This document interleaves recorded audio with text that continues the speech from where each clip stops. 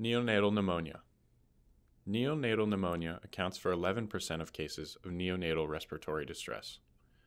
Pneumonia is more commonly seen in infants born prematurely. Other risk factors include maternal chorioamnionitis and rupture of membranes of greater than 18 hours. Early onset pneumonia, which occurs within three days of birth, is vertically transmitted from the mother via aspiration of infected amniotic fluid or transplacental transmission of organisms via the placental circulation. Common pathogens of early onset pneumonia include group B strep, which is the most common, as well as E. coli, Klebsiella, and herpes simplex virus.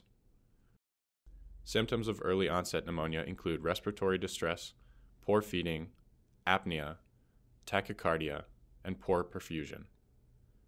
Diagnosis of neonatal pneumonia is made via laboratory findings suggestive of infection, such as an elevated white blood cell count, and characteristic findings on chest x ray, which often shows bilateral alveolar densities with air bronchograms.